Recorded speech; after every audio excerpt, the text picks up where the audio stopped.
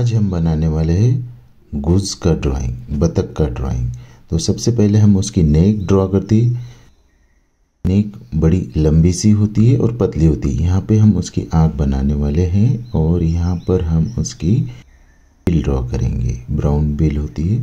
तो नेक बड़ी लंबी सी होंगी। यहाँ पर हम बॉडी बनाते हैं। यहाँ से पॉइंट होते हुए ज्वाइंट करना है और यहाँ पर हम उसका टेल का पार्ट बनाने वाले हैं। तो इस टाइप से कर्व करते हुए इधर ज्वाइन करना है। पीछे में छोटे कोन के जैसे उसके फेदर ड्रॉ करना है। और ये जो होती है वाइट स्ट्रिप नेक के ऊपर वो ड्रॉ करते हैं। यहाँ पर हम उसके फिट ड्रॉ करते हैं। और इसमें हम हमारा इमेजिनेशन भी ऐड कर सकते हैं इस ड्राइंग के अंदर। तो बदक ड्रॉ करने वाले हैं हम। और यहाँ पे उसके बॉडी के ऊपर जो लाइट ब्राउन शेड के होते हैं फेदर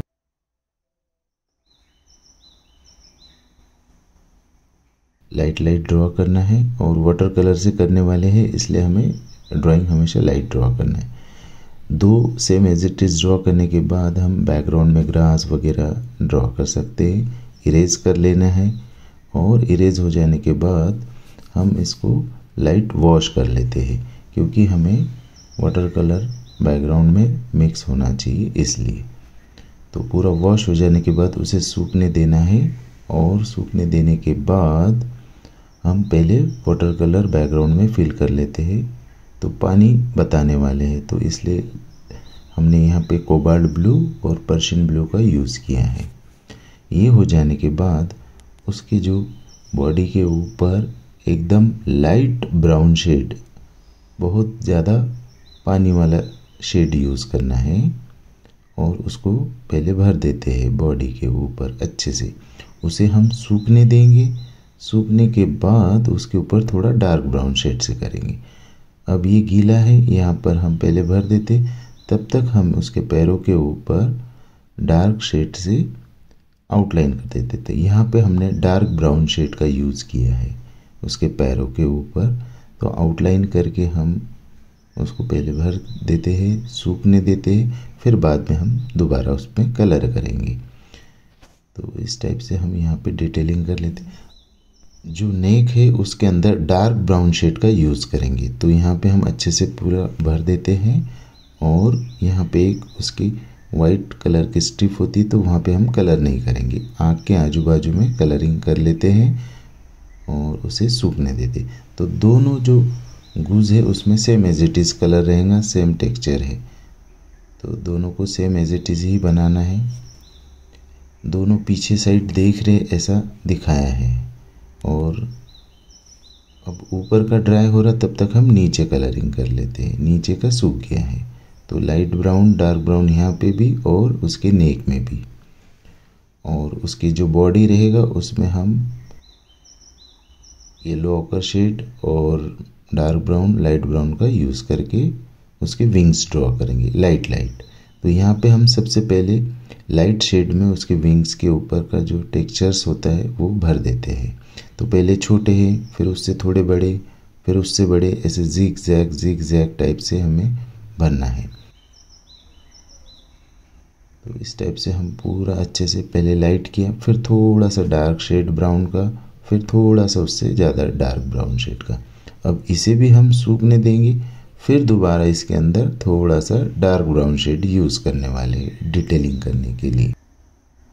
कभी भी हमें वाटर कलर करना है तो पहले लाइट शेड करेंगे, फिर मिडल फिर डार्क ऐसे स्टेप बाय स्टेप अब यहाँ पे जो नीचे की बॉडी के ऊपर ऐसे छोटे छोटे कर्व छोटे छोटे कर्व है तो डार्क टू लाइट शेड है यहाँ पे। उसके ऊपर इधर लाइट लाइट होते जा रहे। तो इस टाइप से नीचे भी करना है। सेम एज इट इज़ दूसरे वाले गुज में भी करना है। जो दूसरा बतख है, उसमें भी करना है। और यहाँ पे थोड़ा सा वाइट जो पार्ट होता है, उसमें हल्का सा ब्लू शेड का यूज़ किया है। अब जो नेक के ऊपर ड्राई हो गया था, उसमें और थोड़ा सा ब्राउन का शेड डार्क यूज़ करके थोड़ा इफ़ेक्ट दे देते। यहाँ पे विंग्स ड्रॉ कर लेते हैं डार्क ब्राउन शेड से डायरेक्ट ब्रश से। इस टाइप से हम यहाँ पे same as it is dark brown shade कर लेते पहले लाइट शेड किया था, सूखने दिया, फिर उसके ऊपर डार्क शेड ये जो इसकी बिल होती है, उसमें भी हम डार्क ब्राउन शेड का यूज़ करेंगे। तो हमें ये जो गूज बना रहे इसमें light brown dark brown yellow ochre shade का यूज़ ज़्यादा करना है। यहाँ पे हम एक पत्थर ड्रॉ कर लेते हैं। और ये जब तक सूख रहा है, तब तक हम ऊपर की जो ग्रास बनाई है, उसमें कलर करते तो यहाँ पे सैप ग्रीन का यूज़ किया है। इसे भी हम सूखने देंगे, इसके ऊपर भी हम दूसरे शेड का यूज़ करेंगे। तो ऐसे वन टू थ्री शेड का यूज़ करके हमें कलरिंग करना है। नीचे का जो पार्ट है, यहाँ पर हमने ग्रीन किया है। अदरवाइज़ यहाँ पे हम light brown yellow ochre shade का यूज़ करके थोड़ा ड्राई इफ़ेक्ट भी बता सकते हैं। मल्टी कलर्स का भी। तो यहाँ पे हमने yellow light green chrome yellow shade का यूज़ किया है सेब ग्रीन का यूज़ किया है, नीचे का ग्रीन करने के लिए और उसे ड्राई होने देते हैं। यहाँ पे हम कुछ ग्रास ड्रॉ कर लेते हैं लाइट शेड में सूखने देंगे, फिर दोबारा उस पर डार्क शेड करेंगे। तो इस टाइप से हम सूखने देना है, थोड़ा रुकना है। अब नीचे का गीला है, तब तक हम पानी का जो पार्ट है, उसके अंदर जो कोबाल्ट ब्लू है, उससे थोड़ा मीडियम शेड का यूज़ करके पानी का इफ़ेक्ट दे देते हैं। पहले लाइट किया था, अब थोड़ा सा मिडल शेड में और उसे अच्छे से मिक्स कर देते हैं और बीच बीच में कहीं पे ग्रास स्टोन वगैरह हम ड्रॉ कर सकते तो इस टाइप से हम एक सुंदर सा गूस का वाटर कलर में ड्राइंग बना सकते हैं। आपको ड्राइंग कैसा लगा है, आप कमेंट बॉक्स में कमेंट करके बता सकते हैं। और आप चैनल पर पहली बार हो तो चैनल को सब्सक्राइब करिए, शेयर करिए। Thank you.